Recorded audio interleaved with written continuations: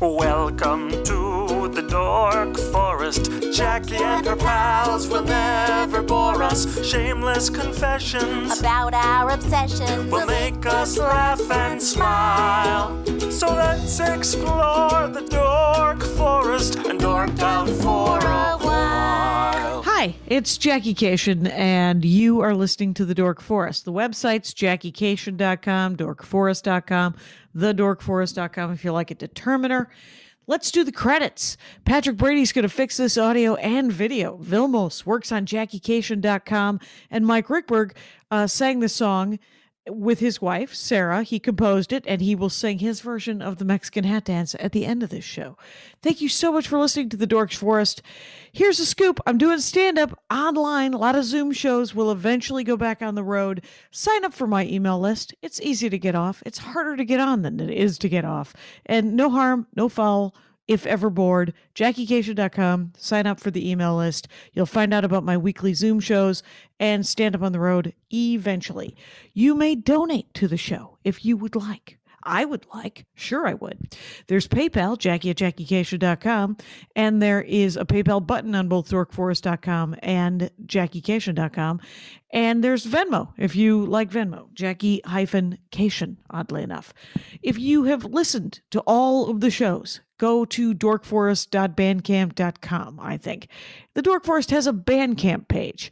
You can listen to a, but a lot of ones that are free from pre 2000 nine when I started pre-recording, and uh, then there's uh, live episodes that cost me a couple of bucks, so I charge you a couple of bucks. There's also some stand-up. There's a story uh, album that's very exciting there, and um, other than that. I have a lot of merch in my garage. Feel free to order if you know anybody who doesn't have any CDs or the DVD. And uh, you can follow me everywhere at Jackie Kashian. Let's get into the show. Hi, I'm Jackie Kashian. Uh, we are in my garage. Well, I'm in my garage. Uh, Brian is in Brooklyn. Uh, hello, Brian Parise. Uh, Parise? Parise. Parise. We just talked about it. I don't Yeah. understand, Jackie. uh, Brian Parise, you are a stand-up comic. You are a New York comic, and you have an album out on 800 Pound Gorilla called uh, Last Wishes. And there, I'm going to record my next one with them, and that is neat that it just came out, and everyone should go listen to it. Last Wishes, right? Yeah, thank you. That's Sure. nice. I didn't know you were uh, you were about to record with them. That's cool. Yeah, yeah, it'll be my fifth album. I was supposed to record twice in the la- in 2020. Didn't happen. Yeah. Weird already, huh? Yeah. When did you record this? Oh, Last man. Wishes. Yeah, I got mine in like right under the gun, like first week of March. Oh, Uh, oh my God! yeah. that is that is final. Yeah. Nice work. yes, it was like, Mm-hmm. and by under the gun, I mean like there was probably COVID in the room, but we didn't know yet. You know. You didn't know. You didn't know. And uh, the aerosols had had yet to be labeled. And what? Uh, where, where'd you record it? Um, I recorded it at it, it's the basement of this bar called the Big Hunt. It's uh, in in Washington D.C. Um, Oh, nice. DC Underground Comedy, and I'm not sure if that venue survived. Um, so so we'll- many, we'll so see. many problems. But we will all rebuild. For that is the nature of the history of the world. Uh, yeah, but the Dork Forest. Now that that is something. So by the way, uh, Brian Parise uh, is at Parise Comedy, P R A I S E comedy, spelled comedy. So and the name of the album is Last Wishes, and it's on 800 Pound Gorilla, and you should totally uh, give it a jingle jangle and a listen. And now I'm ready to dork out, and I love that you were just like just the one thing, and I'm like really, let's do it. Pasta. Pasta. That's the thing. Pasta. That's Yeah. it. Did That's- you? Are you Italian, Mr. Parise? Yes, I am. Okay, th- that does help. That will. Uh, it's either that or Chinese. That's what I'm looking for. is with with with your noodle talk. Yeah. and welcome to Noodle Talk. By the way. Yeah. We would I mean we would have like uh I think they I think if I remember right that we stole it from them if I remember right. I I, think I think did. it might have been. I th- Yeah. yeah. I think it started out there, but there. Uh, you'll be happy to know that the Chinese are eating a lot of potatoes now. Oh good. So they took those from, uh, and we all did from Peru. oh. So uh, that's where p- potatoes started, and apples, uh, something like uh, Uzbekistan or K- Kazakhstan or something like that. Oh wow. I Yeah, it turns out the planet is round, and uh, if you keep walking, you're going to bring somebody lunch. Yeah, it's all connected. I like that. Yeah. It's uh so where so but you're uh did you do you think that you ate pasta because of the Italian thing or Oh yeah, I mean, my so my dad is from Italy, um, so he like came here when he was a kid. Um, so my dad's side of the family, big big Italian, uh, you know, and there's so there was always Oh gee. Yeah. yeah, so there was always like a lot of you know that's where I was first introduced to like Italian cooking was Right. My grandmother, and then you know my grandmother kind of taught my mom how to do it, and my so there was you know there was always Italian food. It was like every holiday is is like a whole parade of um, What uh what is your mom Italian?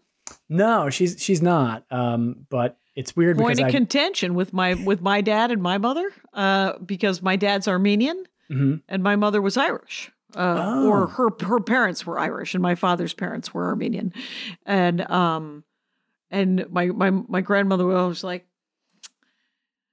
you know, she's not Armenian. And I was like, yeah, I'm her child. I'm right here. What are you, you're out of your goddamn mind. like you were gonna kind of conspire with her and be like, "Yeah, I know, right? What's the deal?"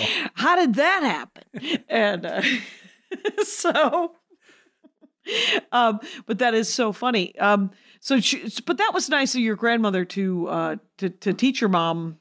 So, did she make homemade? Did they make homemade pasta? Your family? Yeah, I mean, what's yeah, mo- most of the dishes that they made though, it's it's interesting. Like people, like a lot of authentic Italian stuff that people make, people use dry pasta. Um, I think the idea that people have that like Italians always make fresh pasta. It's like Yeah, not always. Uh, you not know, always. no, yeah, it's it's it's a lot of times I think dry pasta, but but uh but yeah, so there were some dishes that were like fresh making pasta, but that's something that I got into more recently. Like I never I was never involved in that when I was um, growing up. Um, that's something honestly in the last like two or three years I got into the fresh pasta thing. Oh, that's cool. And has it flourished in quarantine? Oh yeah, yeah. I have I have nothing. I mean, there there was there was yeah, especially in the early quarantine. I would just every Sunday I was. It- It's sort of a long story, but I ended up in a living. We in have a time, my friend. Yes, you cannot. Uh, I don't mean to detract from the pasta, but I ended up living in a house uh, with my brother and his family. Um, and just got out of New York when it, when things um, were going on. So I was like living in a house with him and his kids. Um, and I was just like every Sunday I would just make a big pasta meal, and I and I would do. And I bought in quarantine during my you know I think everyone's had that phase where they're like I'm gonna buy stuff that's stupid. And Yeah. I I bought a whole bunch of like you know like a pasta roller and like different little items to do. One of with- one of these things. Yeah. That- okay, like the Yeah. hand crank pasta hand maker. crank. We had one of those. We gave it away.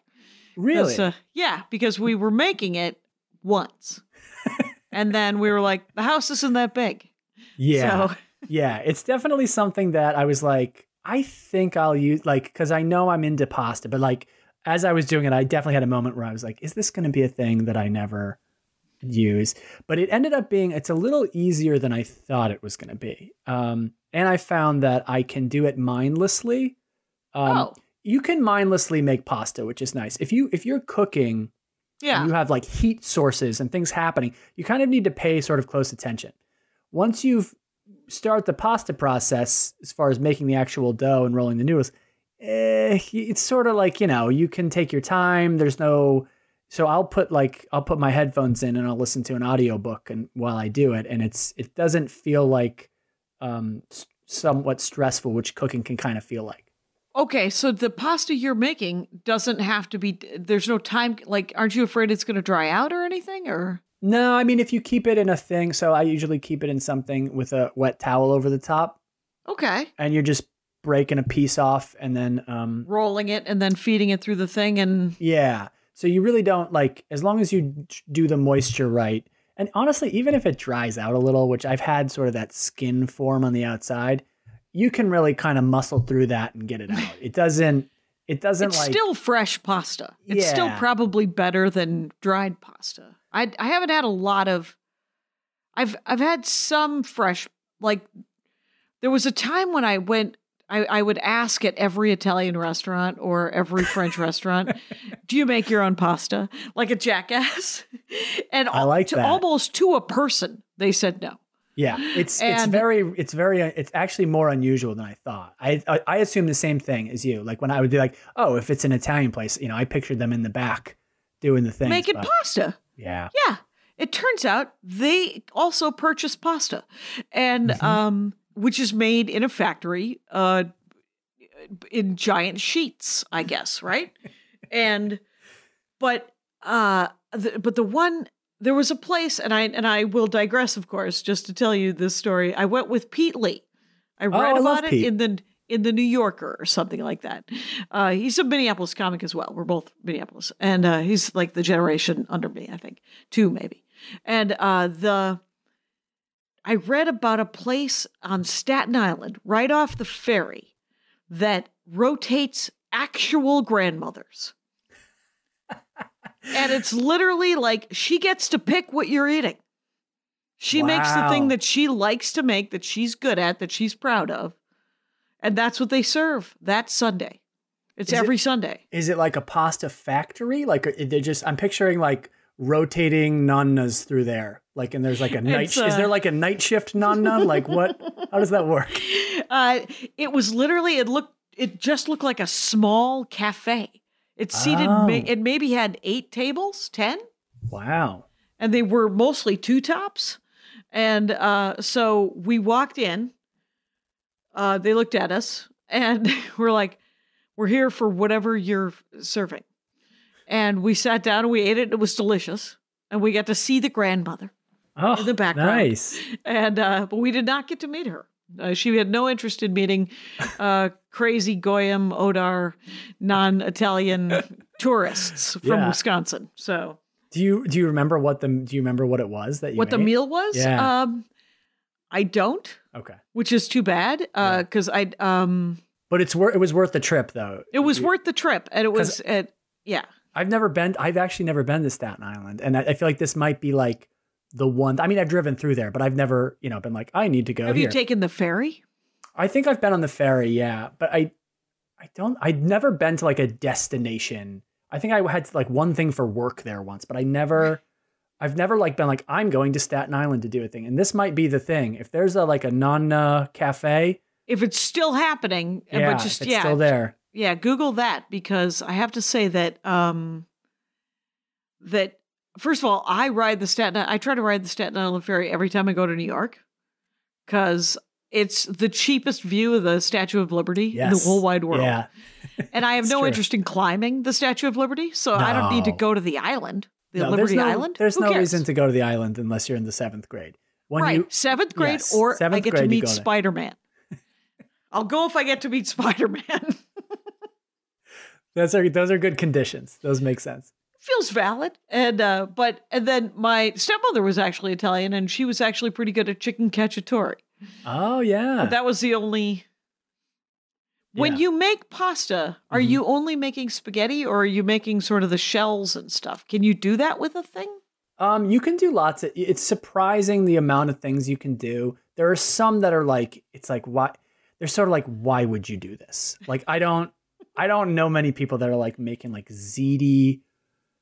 Right you like know, making their own corkscrews or bow ties i So- i'm some of those, some of the some of those ones are like it's weird because there are ones that I thought, oh well, that seems very complicated, but then you just twist it. Like there are some that I thought Oh. would be harder that are easier, and, and it's like you don't you don't know until you see a YouTube video of a guy being like, it's uh, like this, and then you and then you're like, oh okay, I see, I see what you're doing. Uh, but yeah, some of them I don't. Some of them I, do, I don't do a lot. Honestly, I mostly do. I love it for um, lasagna noodles because you can get them oh really thin. Lasagna noodles that are dry store bought are so thick that you you sort of I mean and, and you sort of have to cook them before you put them in. Whereas when I make fresh lasagna noodles, I don't even boil them. I just layer the lasagna with the fresh noodle, and then it cooks when it bakes. Um, and they do have like Uh, ready-made ones, but I, I that don't think sounds they're as good. amazing So yeah. yeah, that that's a big one. And then like fettuccine is great, fresh pasta, tagliatelle. Um, you what's know, what's the difference between fettuccine and spaghetti the width uh, yeah, I fettuccine. Fettuccine is thicker, yeah, and and Okay. spaghetti is like round, sort of too. round instead of Yeah, flat. I suppose. Yeah. But you're you're putting it through a flat. Okay. I don't know. I don't know how to do spaghetti in a thing. I really don't. Okay. I, I think there's those? KitchenAid like attachments that can like Yeah. sh- like shit the pasta out. Yeah. But I don't yeah, know how you would do it with a roller. I'm not sure.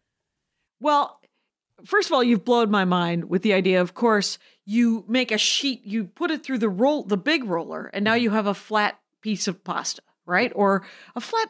It's really just dough, right? Or is it bread? Is it bread dough? What is, is it? Different? No, it's not bread. Yeah, it's it's dough. I think it's pasta dough. Yeah. Pasta dough is different than bread dough. I did a episode about bread with Tom Papa. Oh, I've retained yeah. very little of it. Yeah. Uh, so talk to me. What it? How do you? What's in the dough of a pasta? it's very basic. So that it doesn't even have. I think the difference, the main difference is that uh, bread has yeast, and there's no, there's none of that with pasta. Um, so you you are uh, you're basically you don't even get and you don't do much of like the rising. Like so, you make the dough, and the dough is basically just. There's two different ways to do it. There's you could do it with just flour and water. or Okay. you- Or you, can do it with uh, flour and eggs. I usually do flour and eggs. You make like a little mound. You put a little Yep. hole in the middle, and you you know you do it with a fork. You spin it around with a fork, and then you just kind of work the the flour in until you get the right consistency of dough. So it's very simple. Other people will put other things in it. Some people put uh, olive oil in it, a little olive oil or a little salt. I Salt? don't. You don't. Yeah. Oh, you don't add salt. No, I like to control the salt with the way the salt gets in the pasta for me is with the water. So I taste the water before I boil the pasta, and then I know you know how salty the water is, and that's how the salt gets into the pasta. Plus, in the sauce, there's going to be salt too. But interesting. I'm a big fan of not uh, of of not cooking with too much salt too, because I'm Oh, like, well, you can always add more salt. You can't take it out. Okay. See, this is you're like my mother. Not in not in any other way besides this. But I'm exactly like your mother. A lot of people don't know this about me, you guys. Me and Brian Parise's mom, uh, clones. Anyway, go. um yeah so eh, like yes technically you could at the end but the thing is like the you know the pasta is not going to absorb it in the same way so the, Okay. the t- the, at a certain point you know the point at which pasta gets done absorbing liquid is that's when the flavor of the pasta is kind of set you can put the salt on top but then you're going to get like big pops of salty and then Yeah, the crystals spots of and the yeah. spots you missed are going to be not the same like it's not like evenly sort of distributed through the pasta. So to me, like the time to get the salting right is with the water. If you get the right level in the water and you know how salty your sauce is, you can kind of do that. And then also That is you have to factor in cheese too.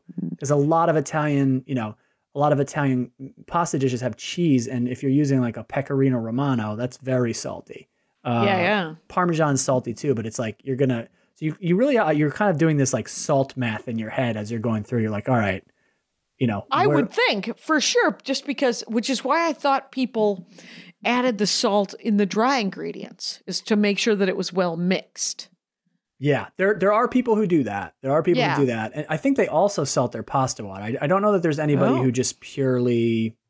Um, I've never heard. Doesn't- An, I've yeah. never heard a, a real Italian person ever advocate for not salting the pasta water, and it is one of those things that's like when you hear about like, like I think among Italians, it's like ugh, people who don't.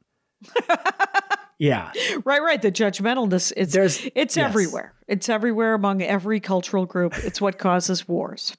But other than that, the food is amazing. Yeah. So, but here's my okay. So, if you use eggs with your flour, you don't use water. You, the only Mm-hmm. Correct. liquid is the eggs. Yeah, yes, Interesting, interesting. And then, so then you roll it out because you have the rolling kind of pasta maker, not a KitchenAid that'll create, you know, bullets of, of pasta. yeah. So then you have a sheet of pasta, and then you cut that into either strips or lasagna squares. Yeah. Um yes. Uh so sort of. So like you first thing is that like you're not doing it all at once. So I I'm not taking the you know, you cut up a little piece. You want to get a piece that'll make a sheet that's the right kind of size, dimensions, right? Otherwise you're going to get like uh, you know, you could end up with really long noodles. You could always cut it in half, but you, you're sort of aiming for a certain dimension based on the size of your roller. So you Oh, want to have you kind of want to know how much that little chunk that you're going to cut off is, and then you and then you make it into a sheet, and then you can either take that depending on the pasta, you taking that sheet and you are uh, like putting it through. There's an attachment on the roller where it can, you know, like split it into noodles, or Oh yeah. um, or sometimes like depending on the noodle, I'll just do it by hand. So like when I made, uh, I forget what it was. I forget what they're called. The ones that have like little, um, oh, that's gonna bother me now. But uh, I do it with a little roller that has like little Okay. ridges. It's sort of like the edge of a um, of a lasagna noodle. How it's got that like little ridge thing. Oh right, right. So Kind of made- serrated looking. Yeah, I made noodles Yeah. like that. I can't remember what they're called at this point, but um, Is that like an ribbons. attachment onto the device? Or No, I just have a little like it's Oh, almost like a, a tiny. It's like a mini pizza roller. okay. that I'll use. But that's, you know, I mean, you can do it lots of different ways. The other way Mhm. is some people will, if you're making noodles, they'll roll it up the sheet and then slice the edge of it so it makes a noodle. Oh, it's in a right, right, right, right. And what I like is the idea. I don't know why I took this out of the mic stand, but here we go, putting it back, putting it back. So, um, if if you've created a noodle out of your your sheet of pasta as it comes through, and then what blew my mind was that you're like, oh, you could just take that noodle and kind of roll it, and then make a ziti or a or a spiral cut, a a, a, twisty noodle. You can do some you can do some see the twisty ones are a little like they're it's sort of like there's a different technique with every type of pasta, um, which is kind of wild. So like um, gnocchi, for instance, is a whole different thing because there's potatoes involved. But the way Right. you're rolling them one at a time with your thumb to make that shape. Sometimes you'll use a little tool that you roll something on with like cavatappi and cavatelli. You're like twisting. There's all sorts of different techniques, and I don't know them all, but I know every time I watch a video, it, there's not like one answer. There's like, oh man, this is. And then sometimes there's different schools of thought, and I'm like, I hate you guys. Right. And because yeah, I mean, you think about it, it's sort of like uh, the bags of tortilla chips, and that some of them are scoops, and some of them are straight, and some of them are triangles, and you're like, so that's the shape of the pasta, so that it can accentuate. Mwah, yeah. It can make it can make the food be better or yes. something. Yes. There's that cer- Yeah, true? I think it's definitely true. There, there's there's certain types of um of pasta that you know you depending on what you're making, it, like certain noodles wouldn't be as good as others. I do think that some of it's a little like over. You know, it's like it still would be good if you put you know it's sauce and pasta. I'm sure it would taste good, but it's Right. there are things of like you know certain ones hold the sauce better depending on how thick the sauce is and what's in it. Um, and then there are yeah so there so that there's some of that is like strategic of like what kind of pasta you want to use with which sauce And and what are you looking at? The consistency of the of the noodle, or you like the thickness of the noodle, or yeah or how it is shaped? yeah um i would say all of those things there's also some element of like um you know shapes like if you have like stuff like a classic one that i like to make is called pasta ceci which is like pasta with chickpeas and you you use uh, shells with that because it's kind of like the the little bits of chickpea and stuff will get sort of inside the shell Yeah. so it's like Yeah, a it will. yeah It sounds amazing. I Yeah. love chickpeas. What Yeah. are you doing to the? What are you doing for the sauce? Like, That's a sim- for the that's actually a real simple one that I recommend when people are like, "Hey Brian, like uh, I want to start making pasta. Like what like what should I uh, you Yeah. know, where should I start?" Kind of like if they don't know how to cook, I'm like, "This one you could do." Uh Right. cuz it's really easy. But you it's just basically you're cooking onion and garlic and butter and uh, olive oil to start. And Yeah. then you're putting uh like chickpeas with the liquid from the a can of chickpeas, not not dry. cans. Okay. Nope. And you let the liquid go in as well. And then you're just sort of boiling them, simmering them until they're soft. You add basil and spices in there. And then once they're soft, you kind of half you half mush it. So you leave Okay. some of them whole, but you're mushing up a bunch of them. And then it becomes the consistency of a sauce. You put a little bit of tomato sauce in for color, and that's it.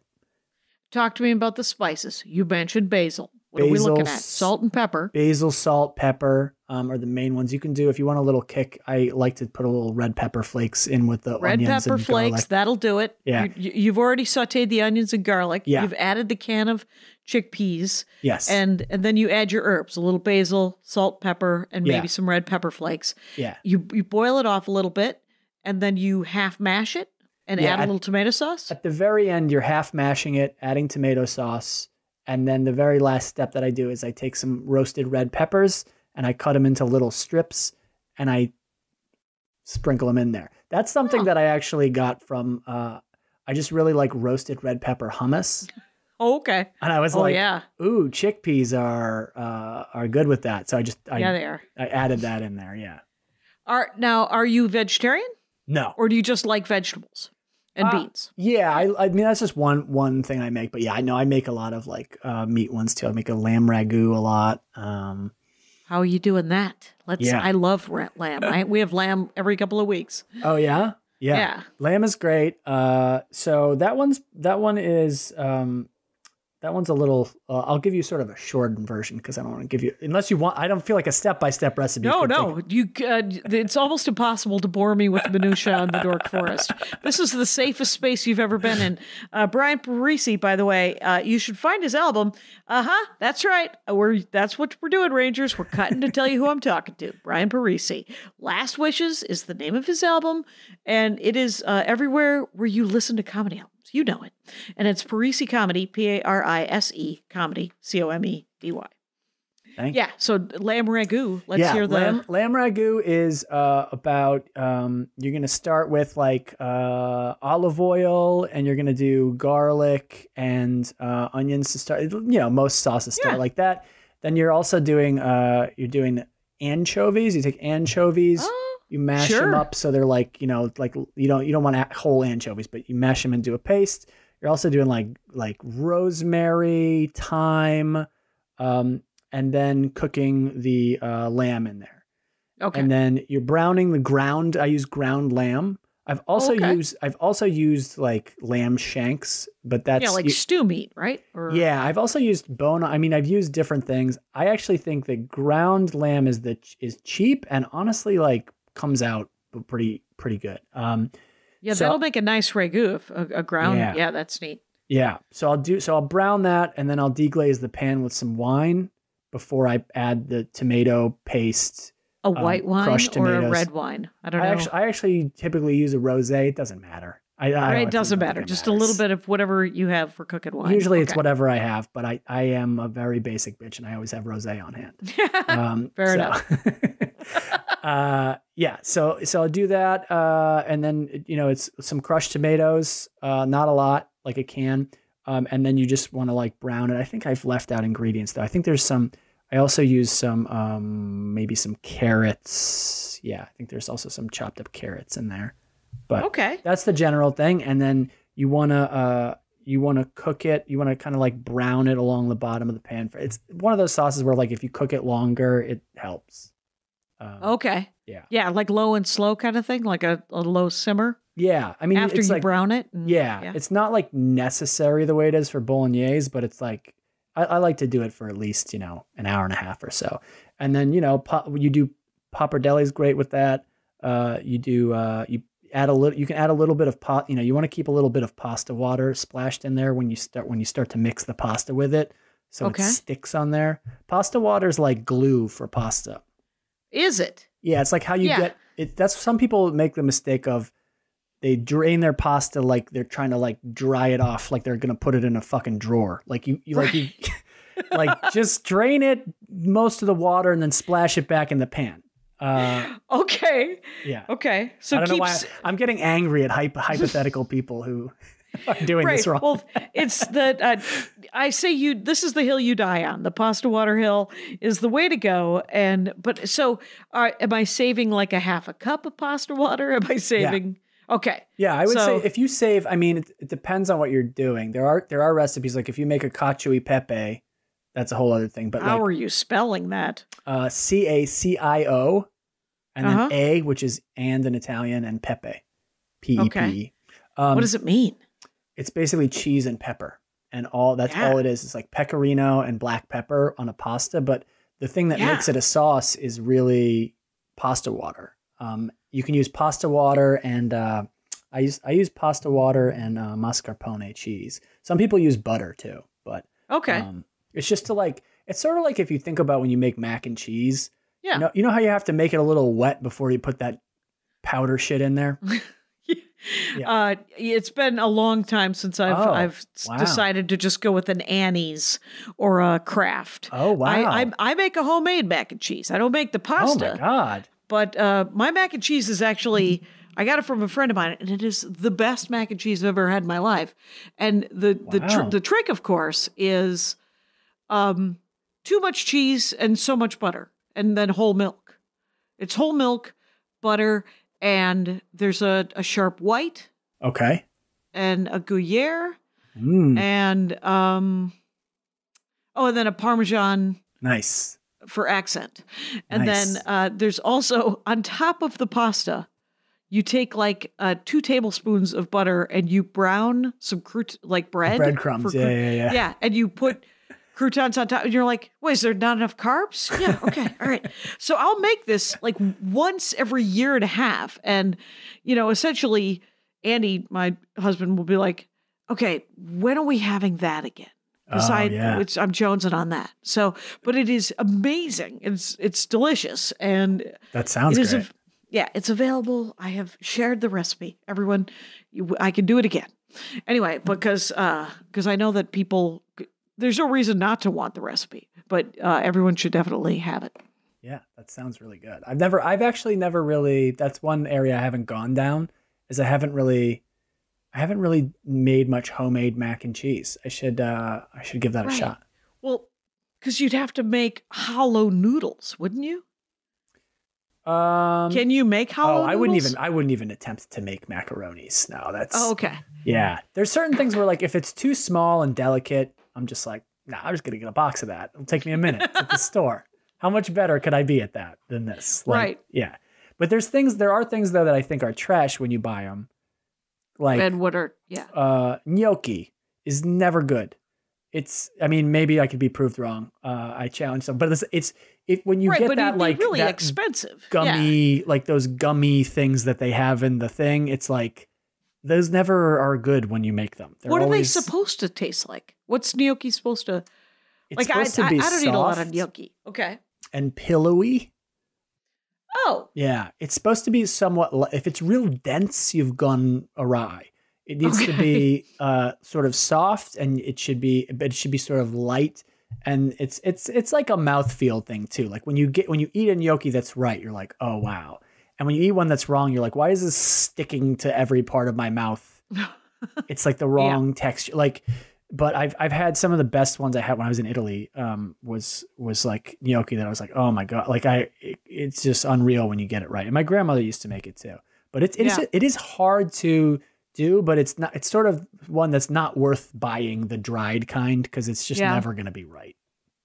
Okay. So just what is in gnocchi? You said that there was potatoes involved. Yeah. I don't know. That's the main difference. It's really a lot like um, you're just basically doing everything I said with pasta, with the exception of before that you are boiling and milling potatoes into like Oh, yeah. it's a potato dumpling. Uh, th- th- there's yeah. no there's no flour. It's just all. No, there's flour too. So there, so it's the same as pasta, as the same basic ingredients, with the exception of you are doing um, you are doing flour, water, and potato instead of just flour and water. Oh, okay. Yeah.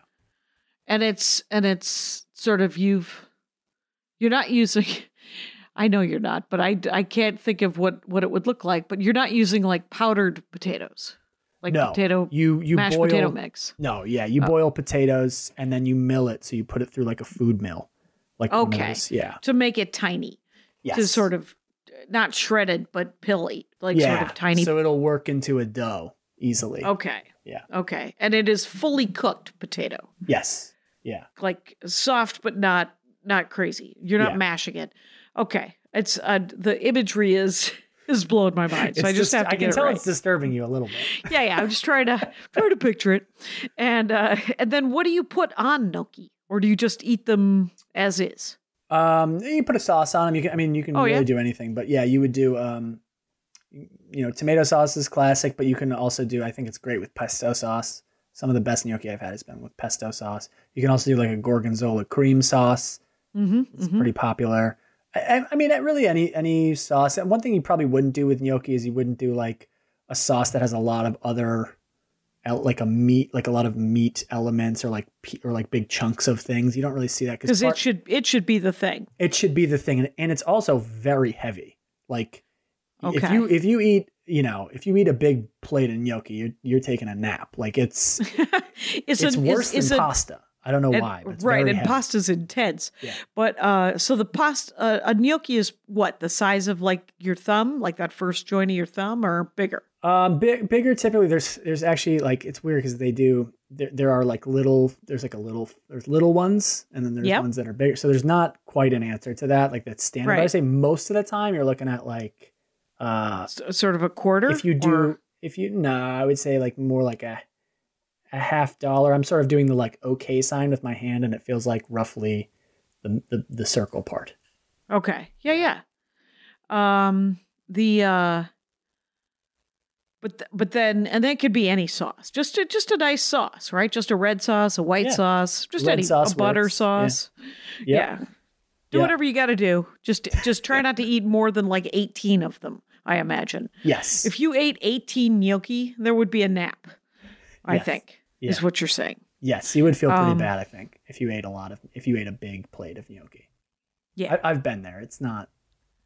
The weird thing about pasta dinners sometimes is sides because Mhm. it takes up so much of the plate yes, that you're like, well, clearly we're using other dishes for salad. yeah, Or if there's going to be a vegetable. Or is it always like sort of a traditionally a one pot meal? I, I like. I mean, I think people do serve it with it, but I think the idea of, um, you know, having different things on a on a plate is, something that's like, um, it's not like it's not done in Italy, but it's a little more American than Italian. A lot of times, I mean, that's the idea of like primi piatti, secondi piatti is like, you know, oh the- yeah. There's going to be a plate with one thing and you'll do Yep. that and then there'll be a plate with another thing we don't need to Right. use one we don't need to have pasta with this thing on the side and then try to squeeze a vegetable onto the same plate you like right. I own other plates. Why Yeah. are you why would you it'll be fine. it'll They be can okay. even match if you need them. Yeah. It'll be it'll be all right. yeah And okay. but it does Uh, lead to over it does lead to sort of like you know over i mean part of my italian food experience has been like you know you would have like a pasta meal and then it's like and then a whole other thing and you're like i didn't plan for or like visually now it's like oh that's gone like i'm it's a lot of food it can be my i remember my feels like grandmother several dinners. yes she would she would make a whole pasta meal and then we'd be like full from a pasta meal as you would be Yeah. and then she would be like okay time to bring out like this veal that i made and you're like what what are we where are we gonna put this veal uh and yeah uh yeah. we used to do pasta and meatballs before Okay. thanksgiving dinner like as a a little a little warm up pasta and like little she used to roll my grandma used to roll little meatballs little tiny ones and we would eat Sure. a whole bowl of that and then and i remember my I would, we would have friends over you know and they'd be like what is this like what what do you because they Why? thought oh we these are just they, we thought oh i guess they're italian they have pasta and meatballs for dinner on, Yeah. on thanksgiving Yeah, yeah, instead then it's like uh, the All of a whole thanksgiving turkey. meal too a turkey mashed potatoes sides the whole thing She's like, well, you- you can't have a meal without uh, just a little bit of pasta with some meat. What are you nuts? and I will say that that uh, I've been to Italy a couple of times, but the the one time I went with my husband and I, we saved up. We went for our honeymoon. Yeah. We spent a week in Venice. We spent a week in Florence. Uh, it was all very glamorous.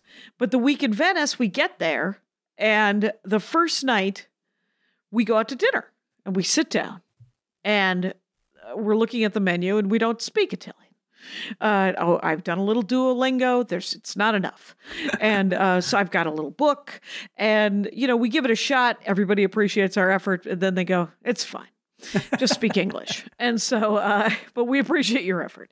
But the thing is, we order the prix fixe. We just get a, a, a meal, and it's fucking Fantasia. It's just like one thing after another, just keeps coming with tiny little shots of booze with every uh, thing. I don't drink. My husband will have half a drink, and he's like, "It's I'm starting to feel it. I don't like it." And I'm like, "Power through it, buddy. That's where the good stuff lies." And uh, he's like, "Shut up."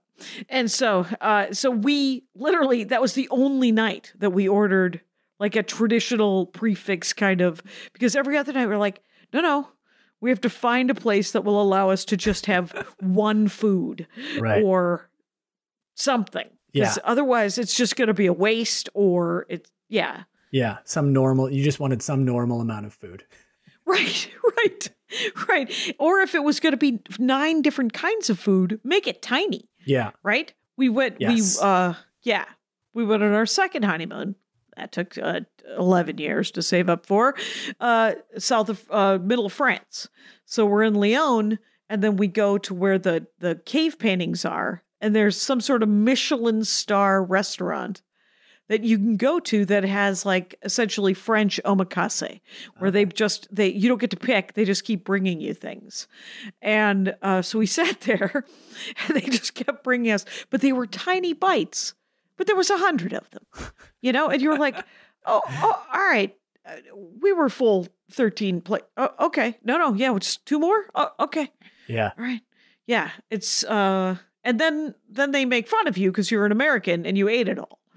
and uh, you were supposed to pass on half of those and you didn't know. I don't know. Yeah, I was like, I, I didn't get a memo Yeah. as to how I was supposed to respond. Yeah, we would we would have. I mean, our family dinners would be like yeah, like waves of things, not in French size, in it in full atten- And then the other thing that would be crazy about it is that you would be paired with like bullying.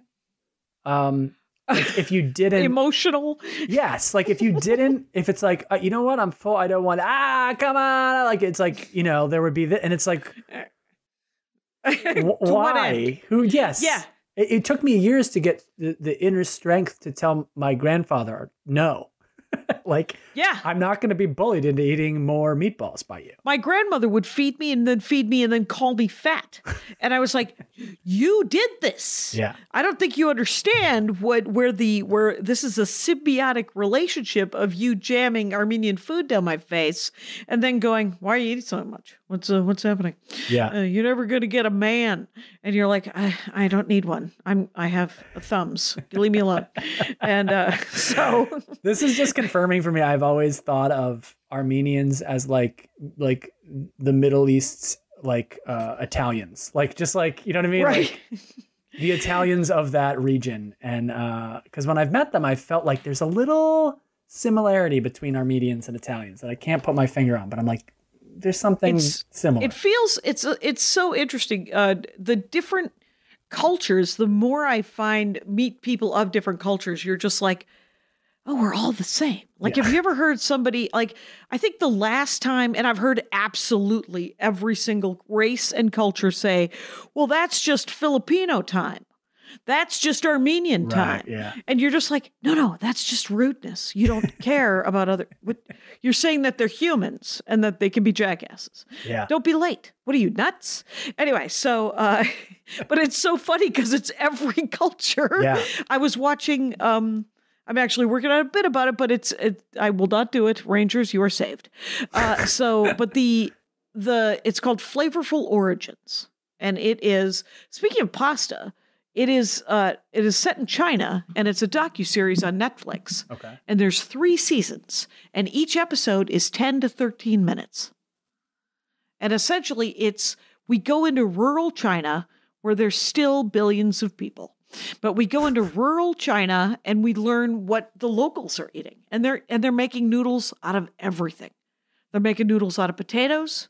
They're making noodles out of rice. They're making noodles out of noodles, out of flour.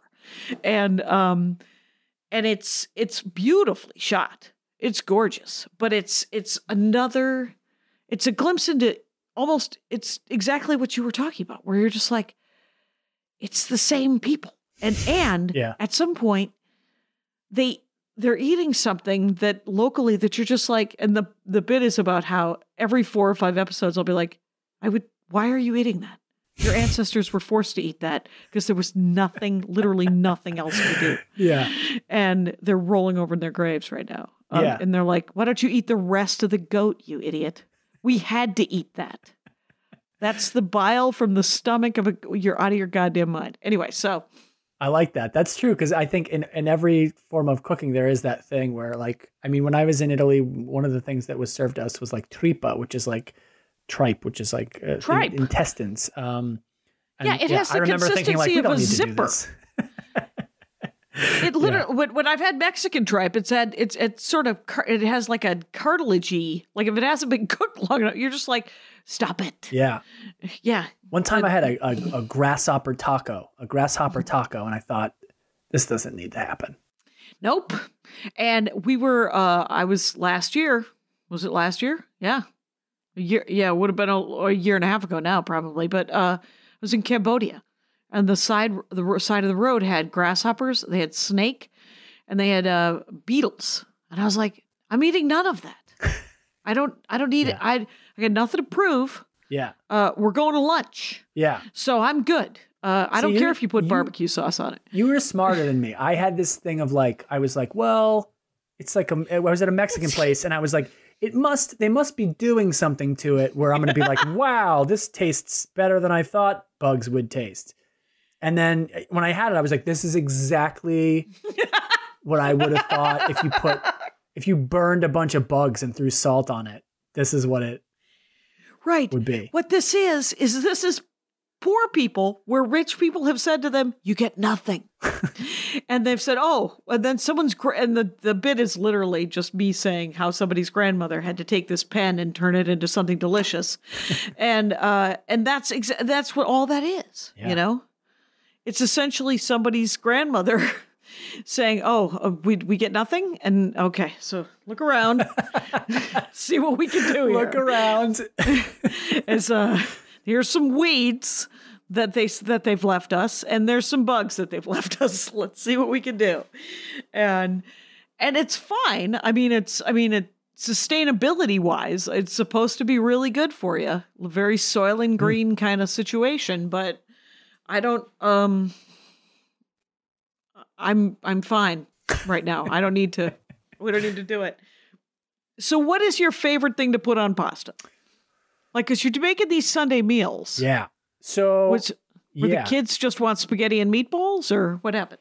some of the one of the kids uh it's my brother's kid I, I guess i can talk trash in this podcast she probably won't listen uh she's she's five uh Oh, five. Are you Yeah. kidding me? There's no, but there's not a bigger asshole in the world than a five year old. she would like Uh. i would spend like all sunday like you know making this uh sauce and this fresh pasta whatever oh, and she would she would go i want sauce on it and it's like it has sauce on it what she meant was she wants to take a jar of store-bought prego sauce and dump it on the pasta and like i know she's five and it's like Yeah, a- a she's learned thing, five. but like i've never been more rageful but it's like i, I couldn't let it out because you, you can't scream at a five-year-old for just wanting no. to eat It turns like, out you're the adult in that situation. I'm so sorry. My apologies.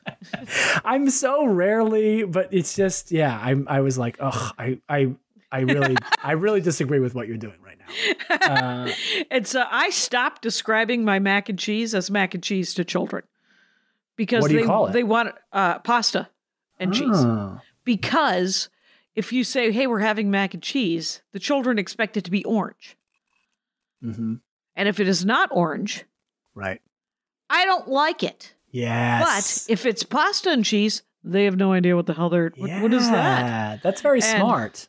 Yeah, yeah. It's uh I uh I have so many nieces and nephews. I have learned to trick the fuck out of them. I'm just like, yeah, what don't you like? All right. Because uh, I don't know if you know this, but Aunt Jackie doesn't make pancakes right.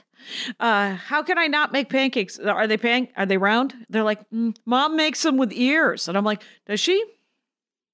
Anyway, what we're having then are round vehicles for butter and maple syrup. That's what we're we're not having pancakes. We're having round maple syrup vehicles, and uh, Yeah, yeah. You gotta Yeah. you gotta kind of like tr- yeah. You have to trick them a little bit. It's uh, but no. Normally, I like to put um. I mean, favorites. I I would say when you when if I can get a if I can get a really good flavorful meat sauce with a with a noodle, that's I mean that's that's close to the top. That's an Prob- ideal. Probably my favorite thing to do, but it's a lot of work.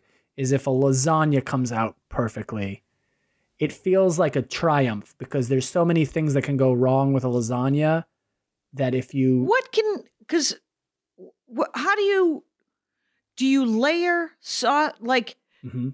what do you how do you how do you make lasagna? I like how I- you I- were you were trying to narrow it down to the questions you had, but you were like, I think it's all the questions. I think and lasagna. And I, what? I and I think I know what I what the reason I don't make lasagna is because it's fiddly. It's yes. But um, but I know, but I want to hear how it's fiddly from your point of view because I wonder if it's the thing that I have to do to make it stay stacked, to make it look like a lasagna once you cut into it. yeah. That's the that's actually sort of the, a, a good way to think about it is when you cut into it, what happens? And that's the, that's the that's the main thing. But in within that question, there's like you know, there's different things that could go wrong. If the noodles aren't right, if the noodles are like uh, you know, overly hard, then when you go to put your fork into the lasagna, it's gonna squish down like you got Uh, layers of pasta blankets that are squirting out the fucking filling, which is bad. right. Too hard. Yeah. It's gonna it's gonna send your salami meat flying in the air, kind of thing. yes. All right. I mean, you kind. I think personally, I too soft is a little hard to do for me, but because I think Yeah. if it's soft, that's good with lasagna. But you can kind of, if it's too mushy and there's not enough noodle to hold it into layers, that's bad. But I mean, the other thing that can happen is if your filling is wrong, that it can oh, re- release liquid into the pan, and then you know it can it can become soupy, then it's soupy. or can Yeah. bubble up and burn, or it can. There's just so many things that can go wrong. Uh, I typically avoid putting like vegetables unless they've been really cooked down into a lasagna. But um, oh, so yeah. eggplant. Like if you wanted to do an eggplant, you would have to cook it a lot. Oh yeah, you well, you want to cook it so that there's it's no longer going to release liquid.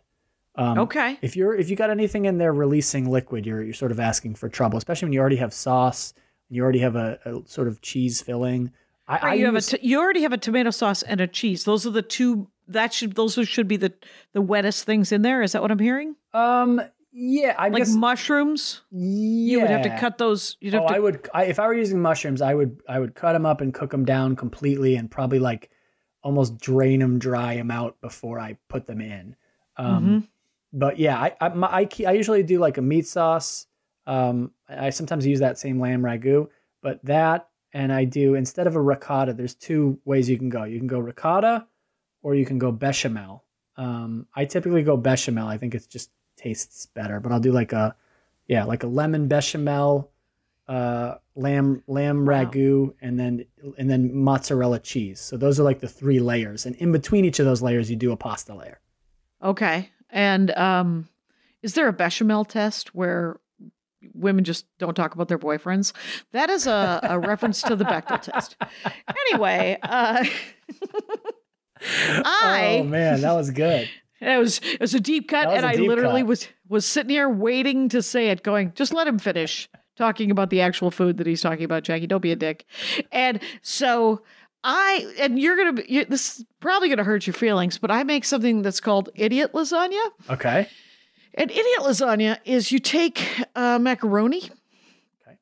and you mix all the things that you would put in the layers, Okay. and then you put on top of it lasagna noodles. So you are hiding. Jackie, I gotta go. I can't take this. and Wait, he are you storms out, you guys. He storms out. Uh, Wait, you're you're mixing the the the macaroni with what before you put the noodle on? With sauce cheese, and cheese. the red sauce, and the meat, and the vegetables, and it's and it's essentially, and then you bake it with a layer just to hide the casserole essentially underneath it, uh, to make it look like a lasagna from above. Wow. But then If when I- you slice into it, you can see the fucking It's a mess. Yeah, catastrophe that you've created. right. It is You're not, not, beautiful. hiding it for that long. No, no, it's all an illusion. and because when I make real lasagna, and I haven't done it in a dozen years, is what I do is I is I make the layers and I and I put the food uh, like I put the cheese and the sauce and the meat or whatever it is in between the layers, and I build it. I build the lasagna. hmm I then in the pan, and then I take the lasagna and I put it in the fridge overnight, covered. so that it kind of sets. And then I Before you cook it. it. Okay, before, I cook bake it. And then I bake it. And it tends to stay together better if I do that. Yeah. Um, and it certainly is not as embarrassing as idiot lasagna. Yeah, and what, are you, what uh, are you trying to solve with the idiocy? Is it uh, the, just uh, someone wants lasagna. I don't want to make it. Uh, so they're just going to have pasta and sauce where Okay. it kind of looks like lasagna when they first look at it. But you could do that. You couldn't you just do layers of like what? Why are you not just doing the layers of lasagna if you already have the other ingredients? I don't get how this Right. is a shortcut. Like It's a short. Well, because then I don't have to build it and put it in the fridge overnight. Oh, okay. I get you. I get you. I could just sort Okay. of put it together and bake it, and then Got you. and then and then eat it. Where do you stand, Brian Parise, hmm on pesto? I like. Do you make your own? Do you make Yeah. your own? Uh, yeah. I, I, well, I mean, I have used. It's easy to I make. have used the little jars occasionally if I'm like sort of, I don't know, in a rush mode. But if I'm, if I'm, it's you know, it's easy to make. So I'll, I'll, I'll make it. Um, I will say it, it is one that I feel like I, um, it's not my best one. I just, it, it, the base, it's, uh, it's. I only do it in the summer. I try to do it in the summer. It just feels like a summer thing because of the basil, whatever. But I find that it's sort of tricky to get the right amount of garlic.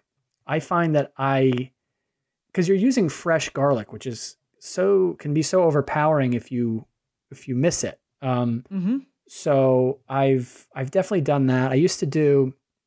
Um, so I, I for the longest time I did this comedy show until recently, until the pandemic. I used to do this comedy show in Brooklyn where I cook pasta for the entire audience.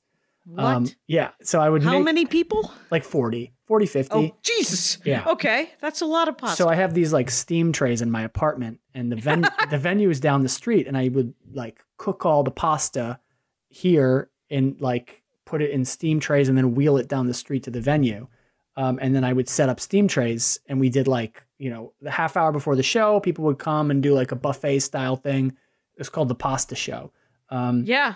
and yeah, uh, it was. That's yeah. awesome. and we would do and we would do that and so we'd you know serve people the pasta and then do do the show but one time i did a, a pesto sauce that had uh instead of pine nuts i used uh, pistachios Oh. and i was just doing a, like a little twist on pesto and i'm like man Yeah. i'm so i'm so fucking clever doing a little doing a little pistachio instead of pine nuts one of the comics uh starts swelling up because he was Oh, hell. allergic to pet pistachios and not but like not but like not allergic to pine. So he's thinking oh i know i'm fine Yeah. with pesto because pine nuts.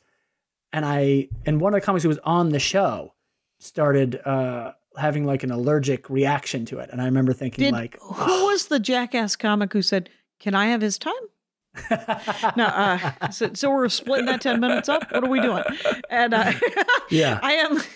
Wow, that's unfortunate though. Yes. So, how did it taste though with pistachios? Oh, it was it, was honestly really good. I I, I sort Okay. of I think it left a bad taste in my mouth because I almost killed a guy, but it was Yeah. other than that, great. and I will say that because we grow pe- uh, basil in the Mm. yard, and so Andy will make pesto and then freeze it in ice cube trays, and then Oh yeah, yeah, yeah. and then we'll I've forget that. that. we have it, and then a year later he'll make it again, and you're like, "What just happened? Too much." Do you notice any? Because I've never tried that. Do you notice any difference when it's like from the ice cube tray to the thing, or does it is it like fresh pesto? It's it's you- it's you know it's better than jarred. So I Okay. don't know if it's better when he makes it initially. It's always the best. yeah. When he freezes it, it's still better than the jarred. But I don't I don't know that it's as good Yeah. as when it not never frozen. Better than jarred is great though. I mean, if you got better yeah, than jarred, it jarred is pretty great. good. Yeah. Yeah, because jarred is quite delicious. Because Yeah. I like a pesto. I don't mind a pesto. Yeah. It's uh um well we are pushing an hour, my friend, but I wonder uh is there anything that I'm not knowing about pesto that we've not touched on? About pasta. About pasta, about pesto or About pasta? pasta. About Pasta. pasta. Um, man, I could give any parting words on pasta. Uh, dig deep, dig deep, Dig deep. Uh, salt your water, people. Just That's it. I've I got mean, that I've, and, I've, and got the thing that is, you taste you taste it. If you don't know what it what the right level is, you taste it, and it should be like the ocean. That's you take a little spoon and you taste it. oh, Yeah, that's a easy Okay. way. that's do that. plenty. That's a lot of salt. Also, yeah, If it's- it yeah. is. It is. But the, you know, but the pasta only absorbs a certain amount of it. The other thing I would Mhm. say is you know, be aware of the time. I feel like people, those are the two biggest mistakes are like that and don't, and take it out before, you know, it's ready because it's going to keep cooking. It's just like meat, you know, it's, if you take it out when it's like, oh yeah, this is soft enough, it's going to be too soft by the time you get there. And Okay. Especially if you're mixing it with a hot sauce, that's Mhm. another couple of minutes that it's basically cooking.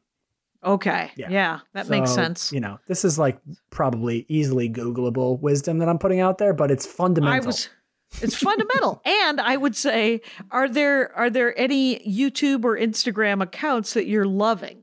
oh, It- um, Is there anything that that you've ended up like I had uh someone do a dork forest about charcuterie boards yeah, and she turned me out. She was like, I am not as good as this person on Instagram. yeah. And I have been following that person on Instagram and they are they make a hell of a board. okay, It's called Ain't Too Proud to Meg? Peg? I like Something like that. Ain't too proud to peg. That sounds like a different account. yeah, that, that does sound porny. Sorry about that, folks. Um, I have a plug. Okay, this is like I'm being an old man right now, but instead of Own it. instead of plugging an Instagram account, I have this cookbook from a woman who's dead. Oh, perfect. I love that. I Uh, love a book. This is uh Marcella Meredith? No, Marcella Marcella. Hazan. Oh, it might be backward because of the Oh, Marcella Hazan. Yeah, Marcella Hazan, H A Z A N, and it's the essentials of classic Italian cooking. There's, it's like a, a mix of like a cookbook and like sort of an advice book, and Oh. it has a lot of stuff about pasta, and it's really good. Um, and um, you know, she's dead, so I'm not getting anything from this. Uh, Right, She's, right. You guys want to give Brian some money? Feel free to find his uh, album. It's called Last Wishes, 800 Pound Gorilla, and it's Parise uh, comedy. Yes. Yeah. but this cookbook, But this cookbook is just going to give you just- information. Yes. Yes. and it's a re- it's a really good one. Um, and then I, I you know I follow some I I I I'm not really aware of anybody. I can't think of anybody that comes to mind that I'm like. But I, every time I've wanted to make a, a fresh pasta thing, YouTube videos are like pretty great and uh, easy enough easy. to and, and whatever you google just try just try a couple of different ones if if you're not if you're not feeling it Yeah. um that makes sense I would makes so uh, much one sense. other thing is I would I would rec I have I do like the pasta roller I have. It's like an Imperia brand. They're really cheap. Uh, okay and and I recommend those over the KitchenAid uh, things, which sort of like stretch the pasta instead of uh, rolling it. It's a kind of a different thing. And i recommend you watch th- at like 10 minutes of this flavorful origins thing on netflix oh because yeah, you will you are going to see some pasta working going down in rural china that will make that'll blow your mind. And you're like i've never uh, the theory that i've come up with is that they've they've sh- the chinese government has shot this to try to encourage tourism between provinces Mm. because each season is a different province i- of china and Oh, there's only like 6 or 10 episodes and they're all 10 or 15 minutes long yeah. and they're so beautifully shot. The food is beautifully shot. The landscape is beautifully shot. Even like weird goat bile soup, you're like, no, no, it's good looking. I think I'm never, never eating that. that makes total sense as a theory. Um, and I love. I sort of almost hope it's not true because if it's not, then you have like the most obscure conspiracy theory that there Right, ever right. was. Like, you want to know what Right. this show's about? It's about tourism between provinces within China. Jackie Kashian recommends we all invest in tinfoil futures. Get in on the Reynolds wrap. Uh, Brian Parise, thank you so much for doing this show. This Oh, was thank you for having me. fascinating and delicious sounding. Uh, Rangers, you know the rules out there. Be good to each other. Take care of each other. My hat, my hat, my hat. They're dancing around my hat, my hat, my hat, my hat. Well, what do you think of that? If it looks like a Mexican hat dance and it sounds like a Mexican hat dance, it's most likely a Mexican hat dance. So take off your hat and let's dance. Yay! Oh my God. we why don't we just call that as the end of the show?